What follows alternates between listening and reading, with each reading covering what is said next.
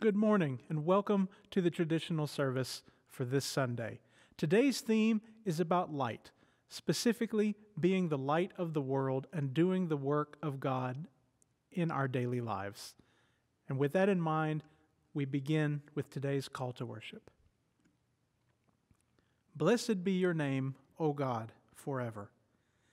You reveal deep and mysterious things. You are light and in you is no darkness. Our darkness is passing away, and already the true light is shining. Good morning, church. Let us center ourselves as we go to God in prayer. There's a sweet, sweet spirit in this place.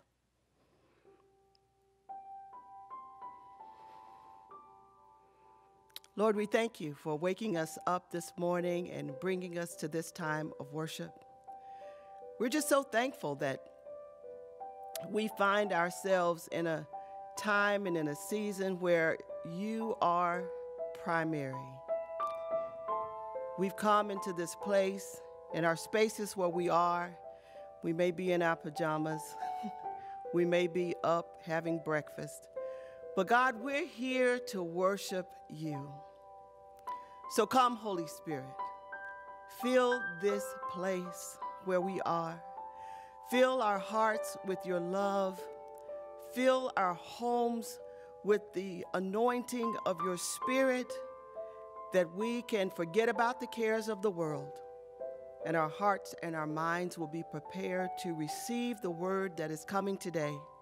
A word that will give hope, a word that will give encouragement, a word that will bring peace in the midst of our storms. So come, Lord, be with us as we've come to worship. In the name of your precious Son, Jesus the Christ. Amen. As we gather, we should always proclaim our faith to each other. So join me as we recite the Apostles' Creed. I believe in God the Father Almighty maker of heaven and earth, and in Jesus Christ, his only Son, our Lord, who was conceived by the Holy Spirit, born of the Virgin Mary, suffered under Pontius Pilate, was crucified, dead, and buried. The third day he rose from the dead, he ascended into heaven, and he sits at the right hand of God the Father Almighty. From thence he shall come to judge the quick and the dead. I believe in the Holy Spirit the Holy Catholic Church, the communion of saints, the forgiveness of sins, the resurrection of the body, and life everlasting. Amen. Good morning. A reading from the book of Israel, chapter 40, verse 21 through 30. Don't you know, haven't you heard? It was announced from, the, from to you from the beginning. Haven't you understood since the earth was founded? God inhabited the earth's horizon. Inhabited are like locusts stretched out to the sky like a curtain. It spreads out like a tent of dwelling. It, God makes digitary useless, and the earth ju judges into nothing. Scarcely they are planted, scarcely sown, scarcely is their shoot rooted in the earth. When God breathes in, on them, and they dry up, the windstorm carries them off like straws. So to whom I will you compare me, and who is my equal? said the Holy One. Look up to look up up at the sky and consider who created this. The one who brings out their attendants one by one, summoning each of them by na name. Because of God's great strength and mighty power, no one is missing. What, why do you say, Jacob and declared, Israel is my way is hidden from the Lord. God, my God ignores my pediment. Don't you know, haven't you heard? The Lord is an everlasting God, the creator of the end of the earth. He doesn't grow tired or weary. His understanding is beyond human reach giving power of the tired and reviving the exhausted. Youth will become tired and weary, the young man will certainly stumble, but those who hope in the Lord will renew their strength. They will fly up the, on wings like eagles. They will, they will run but not be tired. They will walk but not be weary. We continue with our theme of light for the first hymn today, an appropriate one Christ is the world's light. I invite you to sing it with me at home.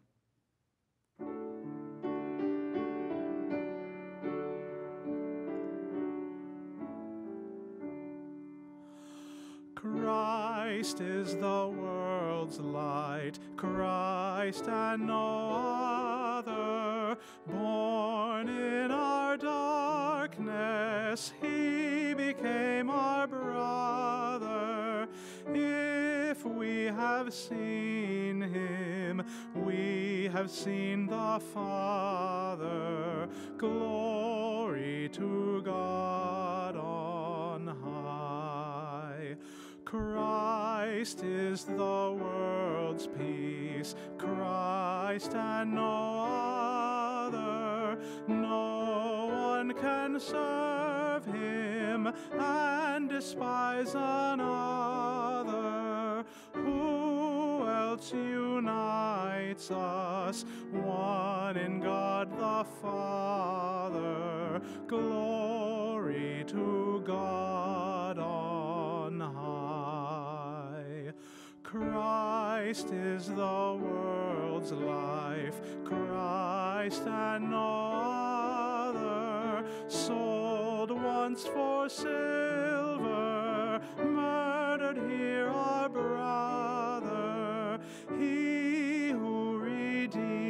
redeems us reigns with God the Father. Glory to God on high.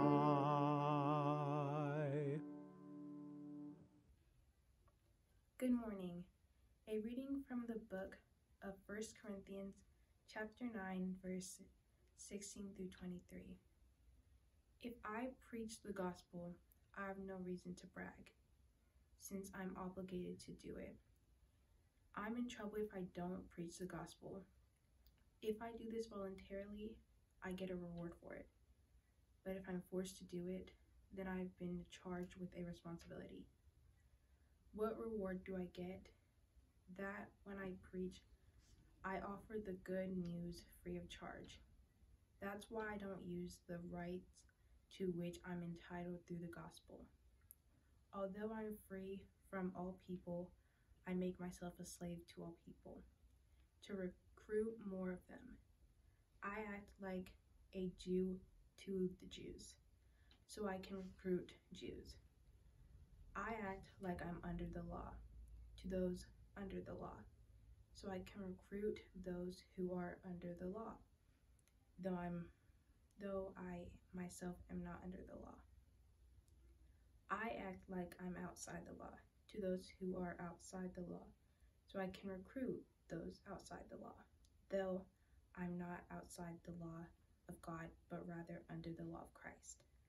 I act weak to the weak, so I can recruit the weak. I have become all things to all people, so I can save some by all possible means. All the things I do are for the sake of the gospel, so I can be a partner with it. Churches, we're in a space today dealing with the pandemic. Um, even this week, there has been so much tragedy that I've witnessed. I come with a heavy heart, and I join you today. Many of you have suffered loss. Many of you are going through trials and tribulations. I join you today. So let us join hearts and go to the Lord in prayer.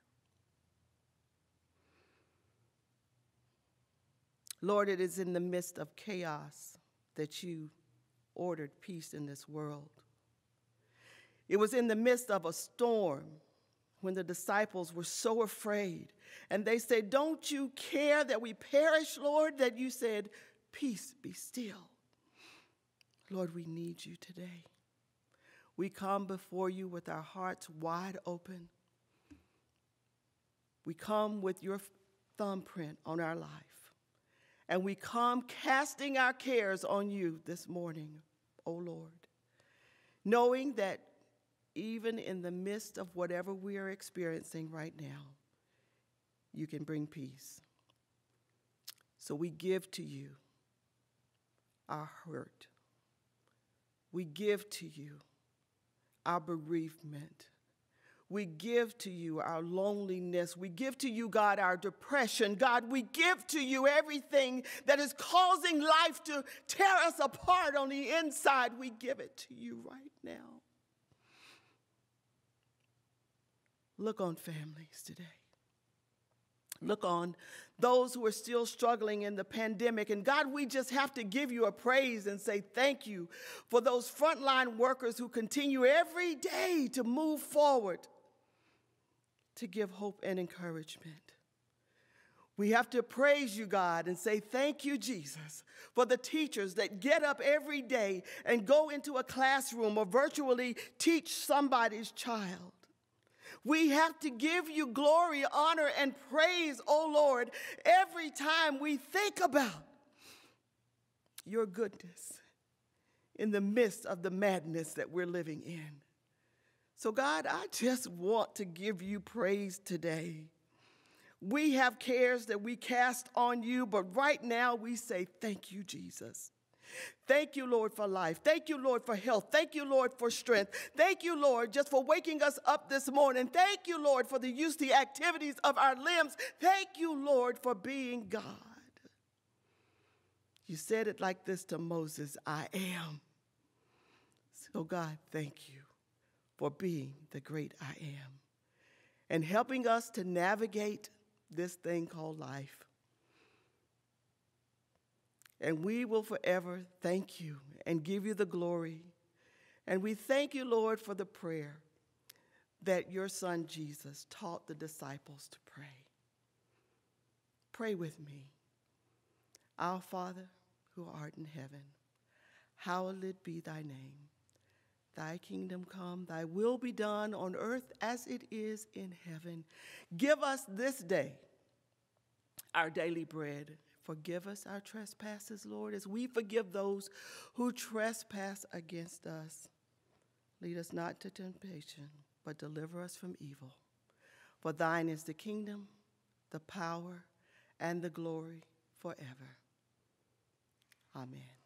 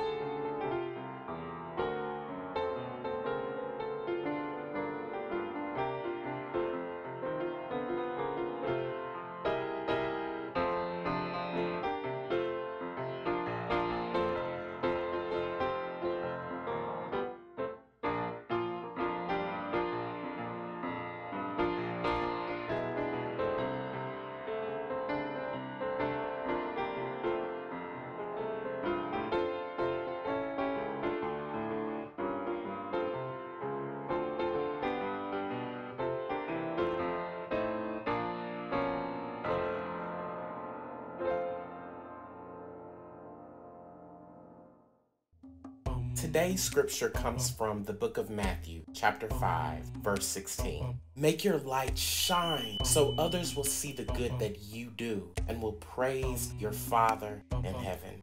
The word of God for the people of God. Thanks be to God. Here's a fun fact. According to the Central Intelligence Agency's World Factbook, Mexico was estimated to be the 12th most heavily populated country on the globe in 2012 as an estimate.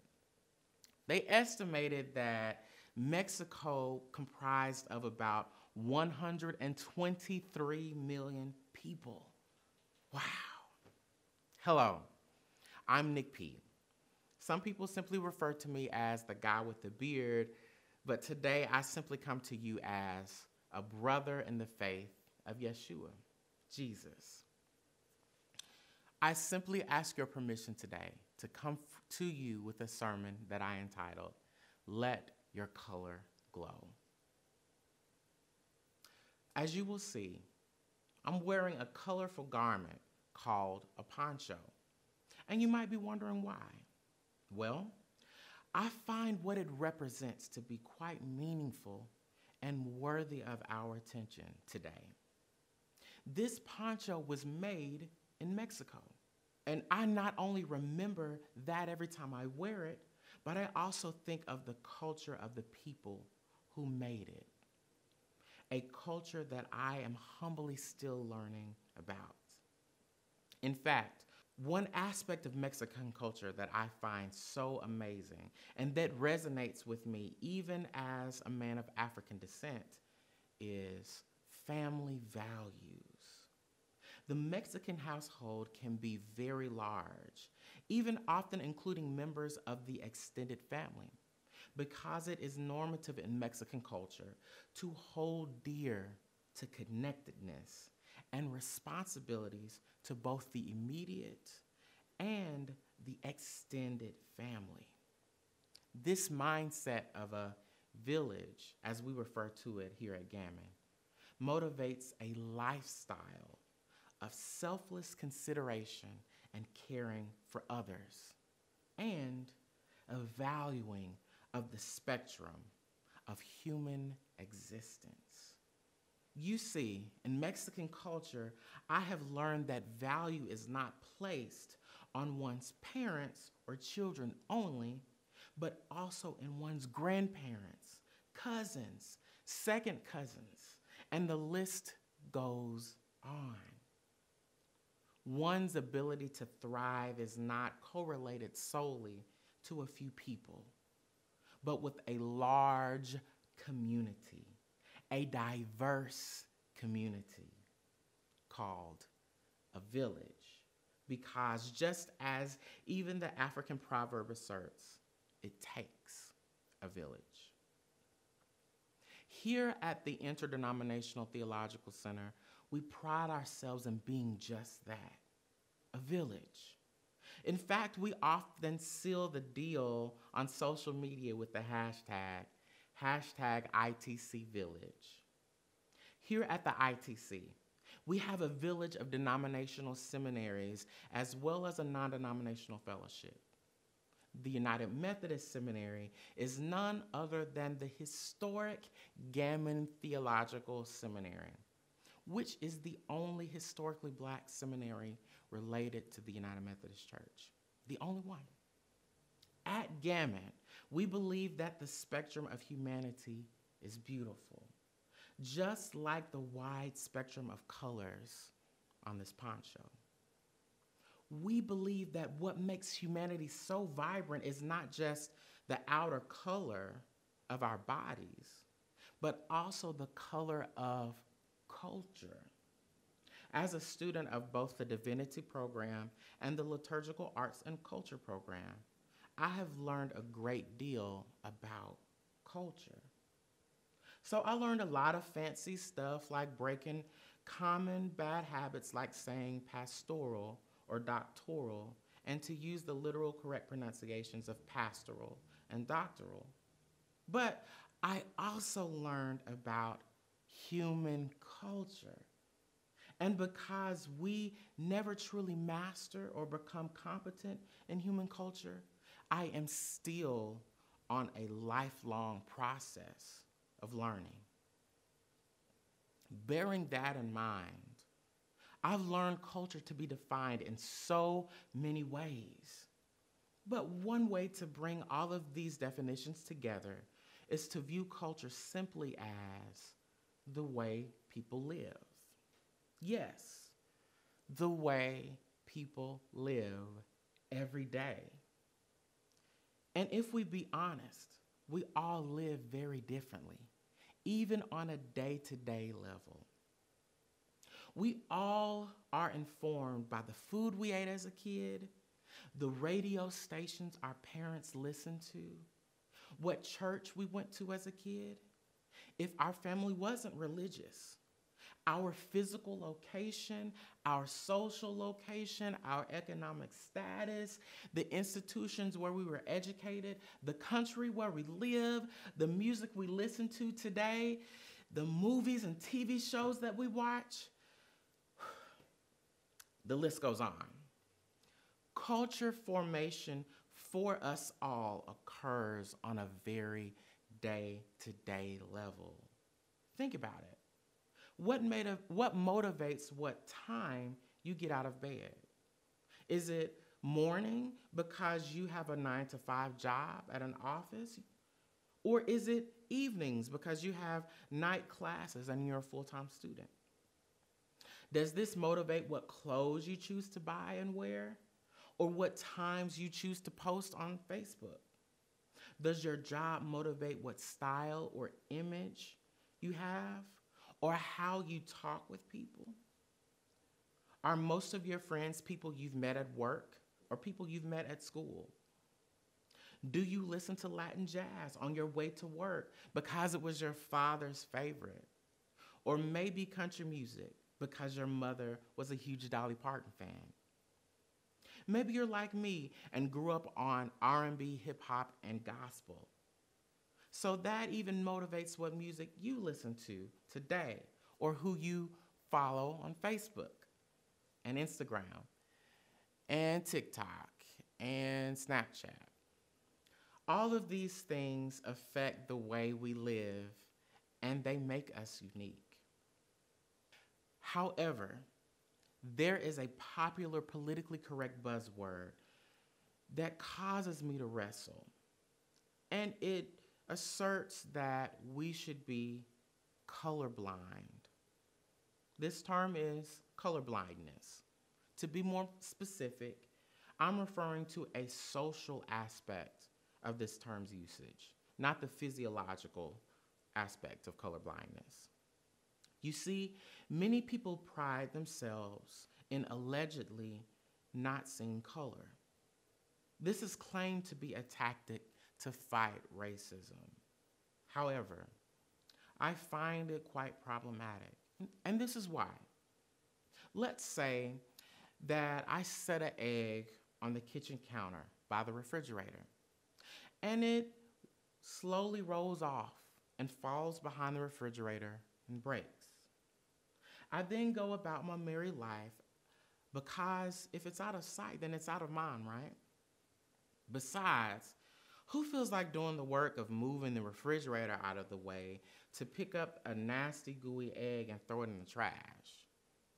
It's so much more convenient to just leave it there and not address it, right? Well, days go by and the egg starts to smell. And the smell gets worse because I never removed the egg, right? And the smell never goes away and it attracts rodents. And then I buy rodent repellent and poison and pat my back, myself on the back for it because it's more convenient to quickly put poison down and not have to do the work of, again, moving the refrigerator to clean up the messy egg. Then a friend comes over to talk, a friend that I invited and the friend tells me that he smells something foul.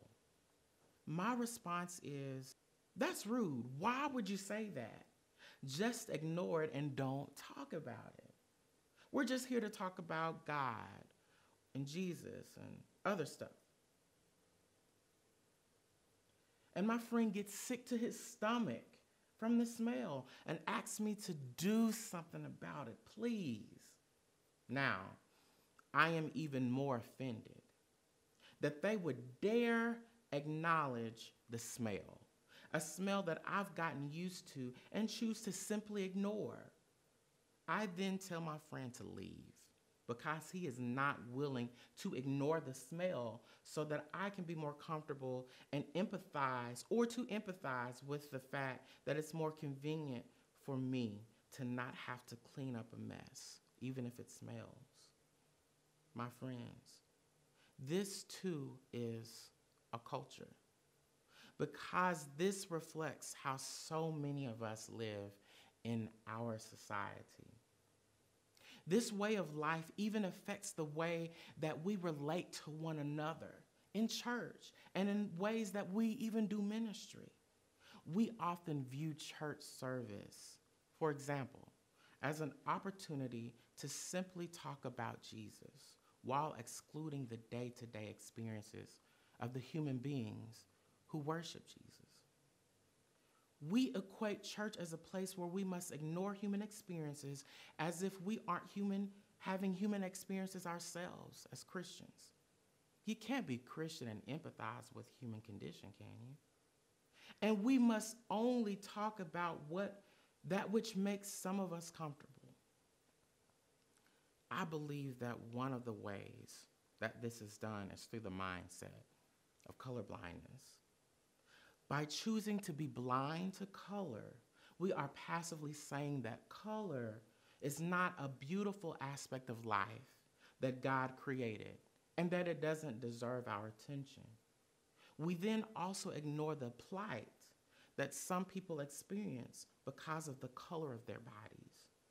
We then also passively act as though color is the problem, the color and not something else that some of us may be uncomfortable with addressing and find it inconvenient to help oust. This cracked egg behind the refrigerator that I'm referring to is racism and privilege. This is, this is the devaluing of people because of their color. And yes, ignoring color is devaluing it. However, if we see the beauty of humanity as a vibrant spectrum, a beautiful, vibrant village, we will then see the problem occurs not with color, but with our prejudices. When beautiful hands made this beautiful poncho, the intention was to demonstrate the beauty of color, not to ignore or devalue it. However, one may say, I don't ignore the diversity of humanity. I welcome it. This is a great statement, an honorable ideology.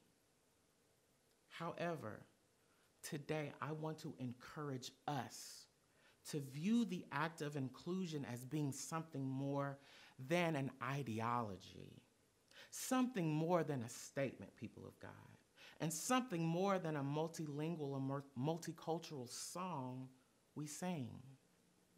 I want to invite you to consider that genuine inclusion is a day to day effort of inconvenience. When you see someone is experiencing difficulty in your lived circumstance because of who they are, because of the color of their skin, because of newness to a circumstance, or because they are different in any way, make a practical day to day effort to do work that includes them in a real way. Don't just show that people matter by attending a protest or by holding a sign or by saying that you're an ally. Show, let may I hope that we can show that people matter each day by helping to make life more inclusive, not just our ideologies. Today, I want to ask us the question what can we do every day to make someone feel and actually be included by our ideologies and by our actions? Are we willing to be multicultural in a practical way? When we do this, this, we can truly help others to let their color glow. So let's pull that refrigerator back together every day and help someone else to let their color glow every day. I encourage you to see the beauty of your unique personhood and to look in the mirror and tell even yourself to let your color glow.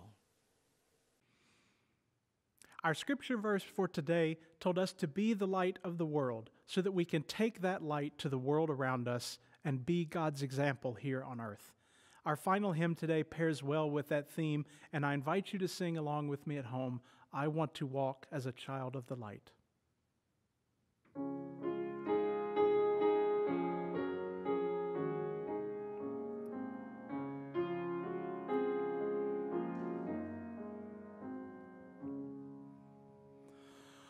I want to walk as a child of the light. I want to follow Jesus. God set the stars to give light to the world. The star of my life is Jesus. In him there is no darkness at all. The night and the day are both alike. The Lamb is the light of the city of God. Shine in my heart, Lord Jesus. I want to see the brightness of God. I want to look at Jesus. Clear sun of righteousness, shine on my path and show me the way to the Father. In him there is no darkness at all. The night and the day are both alike. The Lamb is the light of the city Shine in my heart, Lord Jesus.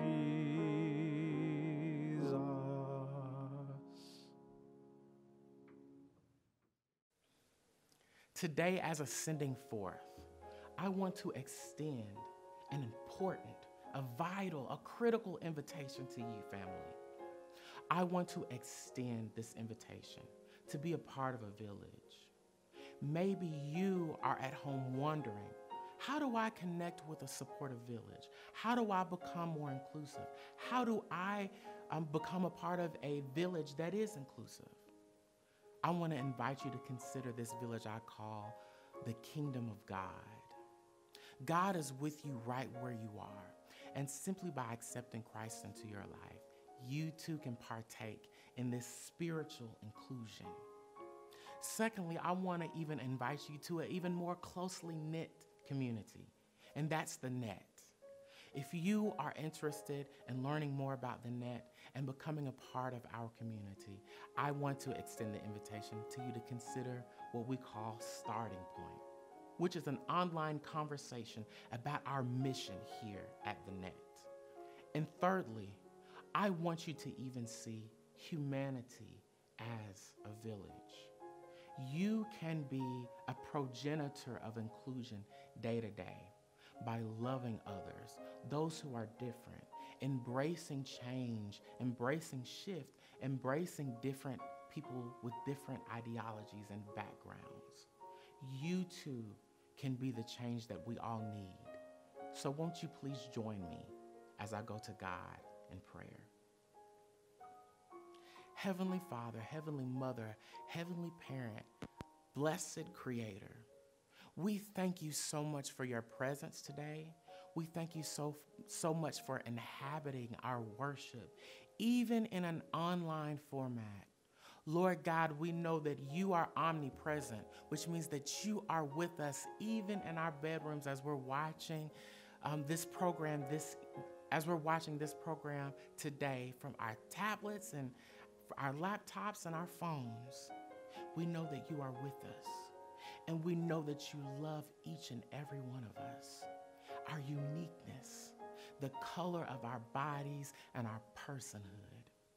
Lord, we thank you for seeing us, Lord, as both a village and as both as a beautiful individual, God. Lord, help us to embody your love on a day to day basis. Lord, help us to be progenitors of love in culture, in everyday culture.